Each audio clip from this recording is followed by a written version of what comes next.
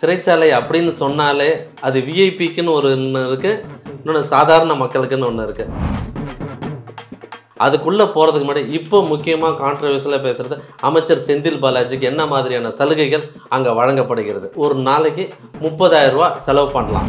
இதற்கு முன்னாடி முன்னாள் முதல்வர் செல்வி ஜெயலலிதா அவர்கள் சிறையில் இருக்கும்போது இருக்கும்பொழுது அவருக்கு என்ன மாதிரியான சலுகைகள்லாம் வழங்கப்பட்டதுன்னு திமுகவே பேசியிருக்கு. ஆறு ரூபா இருந்தது இன்கமிங் வந்து ஆறு ரூபா ஒரு நிமிஷத்துக்கு இப்போ நாங்கள் முத முத அப்போ தராசு தான் ஊடகத்தில் வந்து செல்போனை பயன்படுத்துறது தராசு தான். அப்போ விகடனில் வந்து வாக்கி டாக்கி வச்சுருந்தாங்க. Okay okay. எங்களுக்கெல்லாம் அப்போ பேஜர் தான் கொடுத்துருப்பாங்க. பேஜரில் வந்து நீங்கள் வந்து இப்போ ப்ளீஸ் கால் மீ கான்டாக்ட் மீன்னு போட்டால் நீங்கள் வந்து அந்த நம்பர்லேருந்து கால் பண்ண அதில் இன்னொரு விஷயம் என்னென்னா நீங்கள் எங்கே இருக்கீங்கன்ற அன்னைக்கெல்லாம் வந்து இந்தந்த நம்பர் இந்தந்த ஏரியாவை குறியீடாக காட்டிடும். போலீஸ் கண்டாலே பிடிக்காதான் ஒரு மூணு போலீஸ் வந்து வேற சிறைத்துறை சிறைத்துறை. ஆகாது. ஆகாது. அது என்னன்னு கேட்டா இவங்க தானே உள்ள வந்து ரைட் முக்கியமான விஷயம் கவனிக்கணும். இன்னைக்கு வரைக்கும் ஜாமர் கிடையாதுங்க. இங்க வந்து ஒரு ஒரு எம்எல்ஏ வந்தாலும் யார் வந்தாலும் முக்கியமா வந்து இன்னைக்கு வந்து குற்றங்கள் பல குற்றங்கள் உள்ள இருந்து ஸ்கெட்ச் போட்டு வெளில வர்றதா ஒரு தகவல் இருக்கு. பிரபல ரவுடி ஒருத்தர் சிடி வித்து பிரபலமான ரவுடி ஒருத்தர் தேர்ட் பிளாக்கு பத்தாவது செல்லுல தான் எப்பவுமே வந்தாலும் தங்குறதாம் அங்க எல்லா விஷயமும் கிடக்குமா? இன்னைக்கு வரைக்கும் அவர் மட்டும் இல்ல இல்லை இப்போ பேசிக்கிட்டு இருந்த இடத்துல தொடர்பாக விட்டுட்டோம். இப்போ செந்தில் பாலாஜி சிறைச்சாலைக்குள் அப்படின்றது தான் இன்னைக்கு முக்கியமான பேசு பொருளாக எல்லா இடத்துலையுமே இருக்குது வெளியில் சமூக ஊடகங்கள் வேற வேற விஷயங்களை பேசி டைவர்ட் பண்ணிட்டுக்கிறாங்க அவங்க தரப்பு அது வேற விஷயம். நம்ம உள்ள அதை மட்டும் பார்ப்போம். இப்போ அவருக்காக மற்ற கைதிகள் மாதிரி அவர் நடத்தப்படுகிறாரா?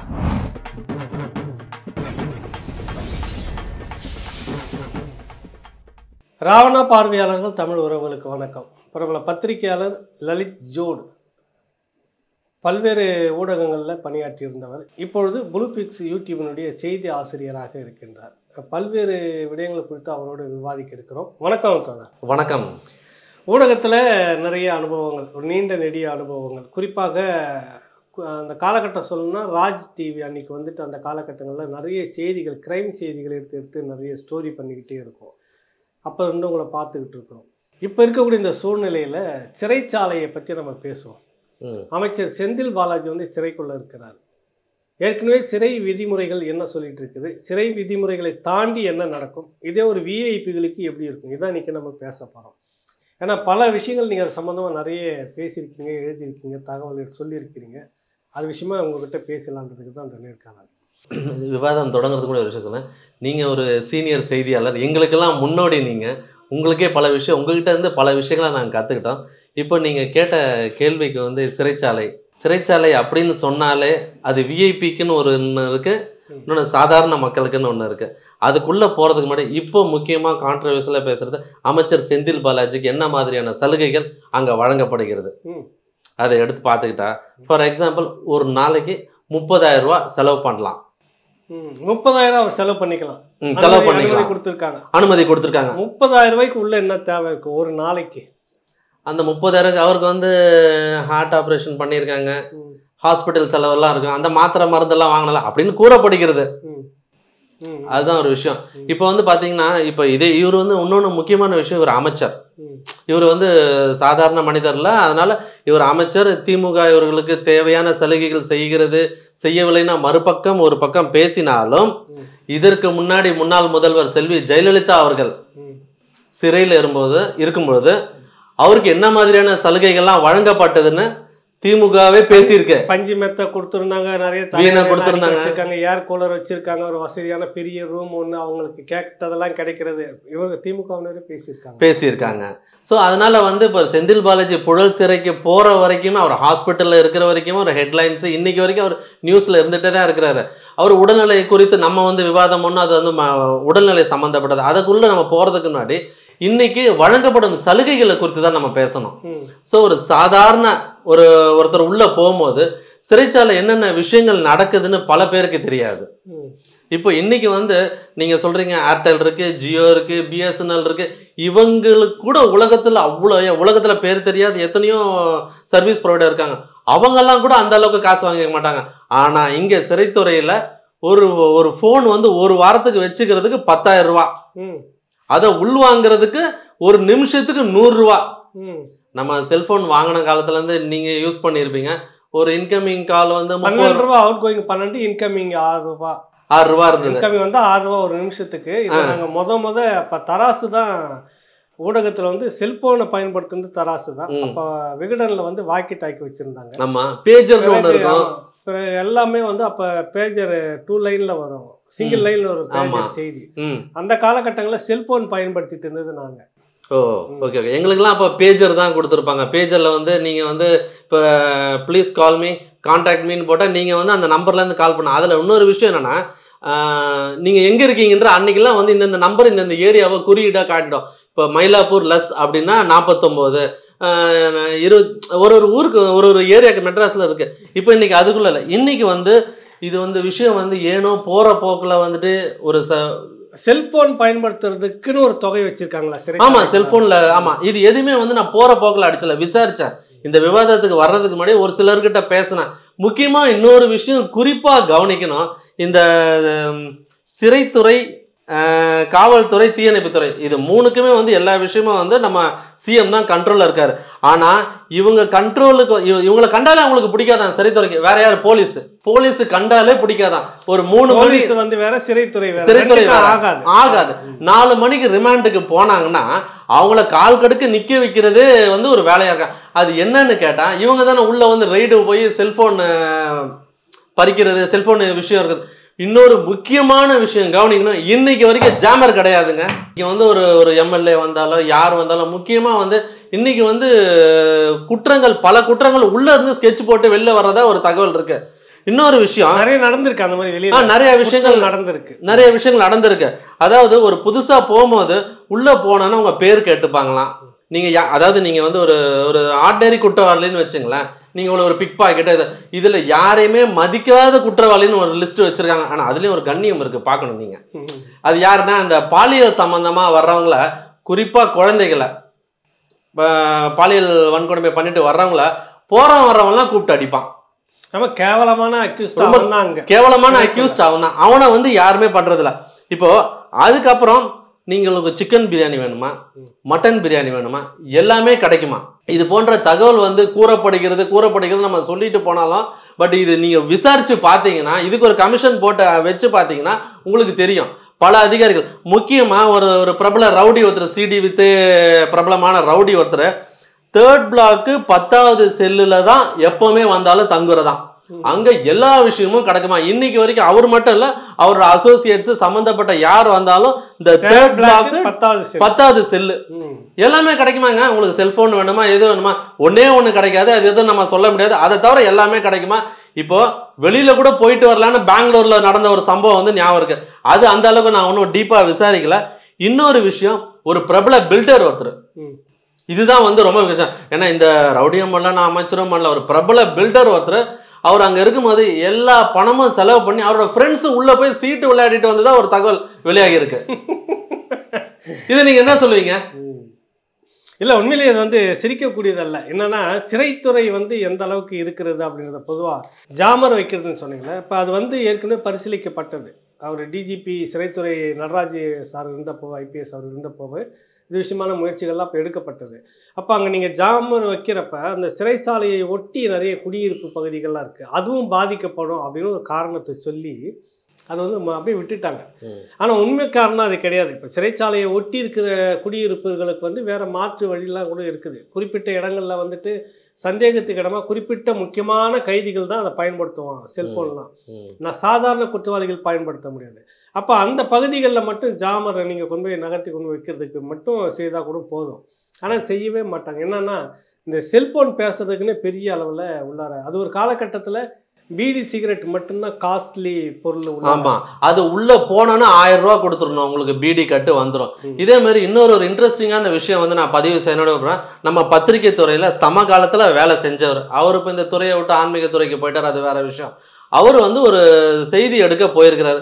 ஒரு மிரட்டல் கேஸ் போடப்பட்டு அது உண்மையா பொய்யான்றது அது பக்கம். இவர் வந்து ஜெயிலுக்குள்ள போறாரு. இவர் போயிட்டு வந்தாலும் ஒரு பதினஞ்சு நாள் கழிச்சு அவர்கிட்ட நான் பேச வேண்டிய சூழ்நிலை ஏற்பட்டது. நண்பர் என்ன என்ன நண்பா இந்த மாதிரி போயிட்டு வந்துட்டீங்க? என்ன விஷயம்னா ஜுடு ஜெயிலுன்றது சாதாரண விஷயம் கிடையாது. ஆனால் பத்திரிகையாளராக போனால் ராயல் ட்ரீட்மெண்ட் கொடுக்குறாங்க. ஏன் அந்த ராயல் ட்ரீட்மெண்ட்னா உங்களுக்கு வந்து தலகாணிக்கு ஒரு பைசா பெட்ஷீட்டுக்கு ஒரு பைசா உங்களுக்கு எல்லா விஷயத்தையும் பண்ணுறதுக்கு ஒரு பைசா. ஆனால் பத்திரிகையாளர்களுக்கு எதுவும் கிடையாதான். அந்த பதினஞ்சு நாள் அவரை வந்து சொகுசாக பார்த்துங்க. உங்களுக்கு தேவையானது அப்படியும் இதுக்கு மீறி ஏதாவது வேணும்னா உங்கள் அட்ரஸை கொடுத்துருங்க. வெளியில் இருக்கிற நெட்ஒர்க் போய் அந்த பணத்தை வாங்கிட்டு உங்களுக்கு உள்ளே வந்து தேவையானது கிடைக்குமா? ஸோ அந்த மாதிரி விஷயம் இருக்கும்போது பத்திரிக்கையாளர் ஏன்னா அந்த உள்ள இருந்து அவர் மூலமா எந்த செய்தியும் போயிடக்கூடாதுன்றதுல ரொம்ப தெளிவா அவருக்கு ஏ கிளாஸ்க்கு வழங்கக்கூடியது சாதா செல்லையே கொடுப்பாங்களாம்.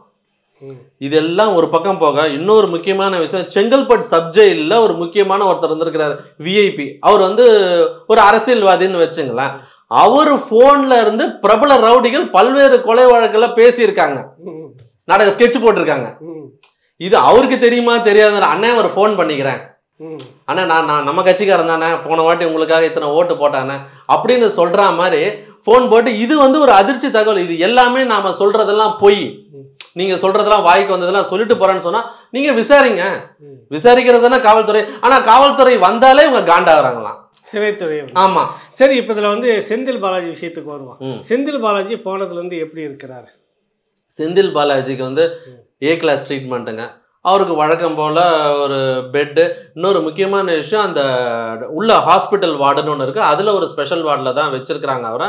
அவருக்கு வந்து ட்ரீட்மெண்ட் வந்து ஏன்னா அவருக்கு வந்து இப்போ ஹார்ட் ஆப்ரேஷன் பண்ணியிருந்தனால அவர் மேலே சிறப்பு கவனம் செலுத்தப்பட்டிருக்காங்க. இதில் யாராவது எக்ஸ்ட்ரா பண்ணாங்கன்னா இந்த நிலையில் வந்து நடுவில் வந்து ஒரு ஜெயிலரையும் இவர் ட்ரான்ஸ்ஃபர் பண்ணியிருக்காங்க. என்ன காரணத்துக்காக ட்ரான்ஸ்ஃபர் பண்ணிருக்காரு எந்த காரணத்துக்காக பண்ணாங்கன்றது அதான் ஒரு ஃபேவர் பண்ண மாதிரி தான்.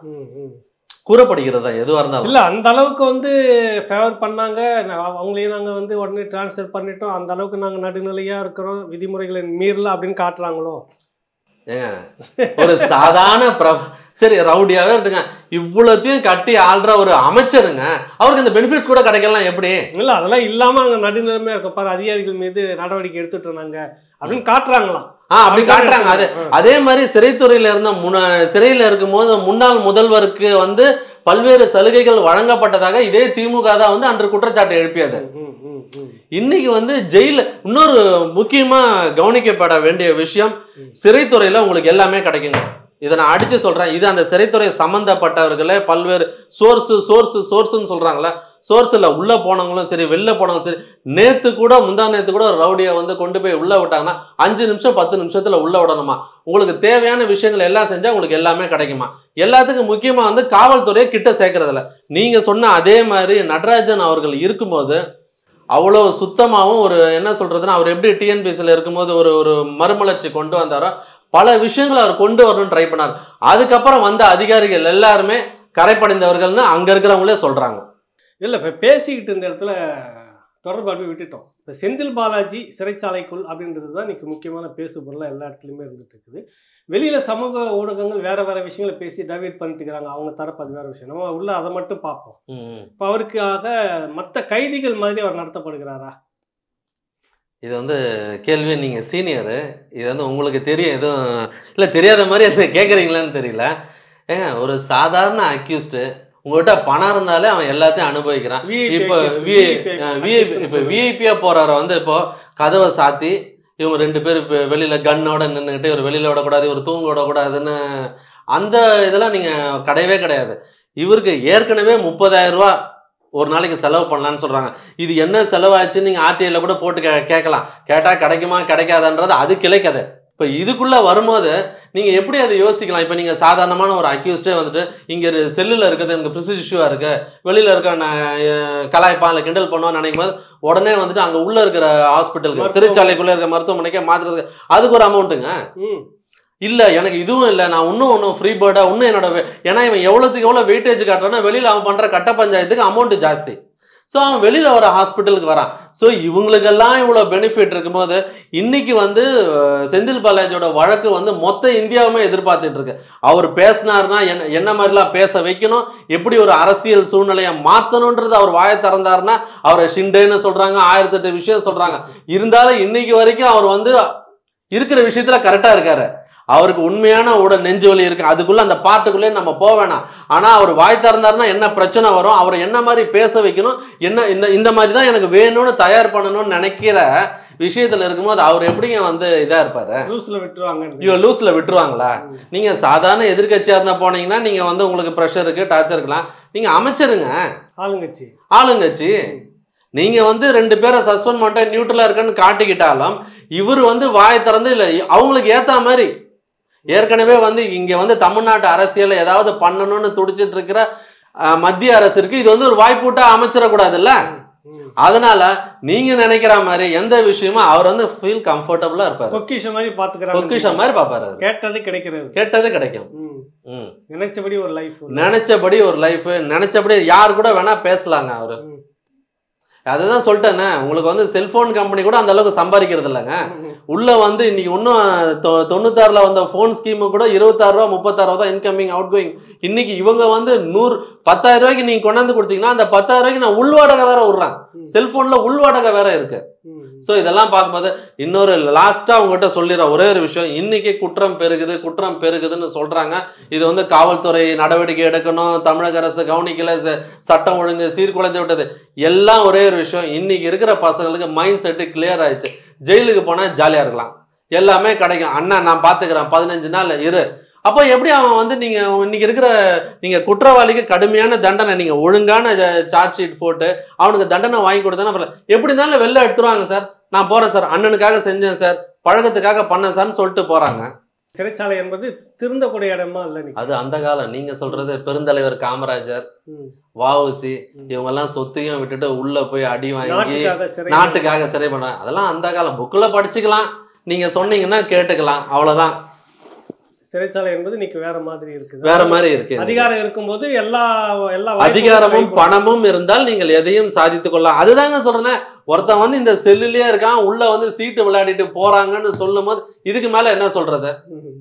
இப்ப நாங்க எதுவுமே இட்டு கட்டி வந்து சிறைச்சாலையை வந்து நாங்க வந்து டார்கெட் பண்ணி இந்த செய்தியை கொண்டு வரணுன்ற விஷயம் கிடையாது. நீங்க விசாரணை பண்ணி பாருங்க நேர்மையான அதிகாரிகளை கொண்டு. இருக்கும் ஒரு குறிப்பிட்ட தகவலை வந்து சொல்லியிருக்கீங்க. அதனால நிறைய விஷயங்கள் அடுத்தடுத்து நம்ம பேசுவோம். மீண்டும் ஒரு நிகழ்ச்சியில் சந்திப்போம். நன்றி வணக்கம். வணக்கம். ஒரு புதிய முயற்சி உங்கள் ஆதரவோடு. திரிசக்தி நிறுவனத்துடைய தலைவர் தமிழக அரசியல் வார இதழ் சுந்தரராமன் எல்லோருக்கும் பரிச்சயமான ஒருவர். அனுபவமிக்க எழுத்தாளர் பத்திரிகையாளர் நாடக நடிகர் இப்படி பன்முக தன்மை கொண்டவர். பல்வேறு கட்டுரைகளை அவர் வந்து முதன் முதலாக புலனாய்வு செய்து வெளிக்கொண்டு வந்த அரசியல் கட்டுரைகள் சர்ச்சையை ஏற்படுத்தியிருக்கிறது. ராவணாவிலும் அப்படி நிறைய தகவல்களை வந்து சொல்லியிருக்கிறார். அப்படியான திரிசக்தி நிறுவனர் சுந்தரராமன் அவர்களோடு உங்களுடைய கேள்விகளை நீங்கள் அனுப்பினா அவருடைய பதில் அப்படின்ற மாதிரி கேள்வி பதிலாக வாரந்தோறும் உங்களுடன் அவர் பேச இருக்கின்றார். தகுதி வாய்ந்த கேள்விகளுக்கான பதில் வரும். அந்த பெயர் முகவரி உண்மையான பெயரை போட்டு அனுப்பக்கூடிய கேள்விகள் அடுத்தது சரியான கேள்விகளாக தேர்வு செய்யப்பட்டு அதற்கான பதில் வந்து அவர்கிட்ட இருந்து வரும். இப்படி ஒரு புதிய நிகழ்ச்சியை வந்து நம்ம தொடங்க இருக்கிறோம். மறக்காமல் உங்களுடைய கேள்விகளை கீழே இருக்கிற முகவரிக்கு அனுப்புங்க. முடிந்தால் உங்கள் நீங்களே நேரடியாக ஒரு நிமிடத்துக்குள்ளாக உங்களுடைய கேள்விகளை பேசி அனுப்புனா அதுவும் வந்துட்டு ஒளிபரப்பப்படும் கேள்வியாக வைக்கப்படும். இது உங்கள் வழக்கமாக உங்களுடைய ஆதரவு வேணும். சந்திப்போம். வணக்கம்.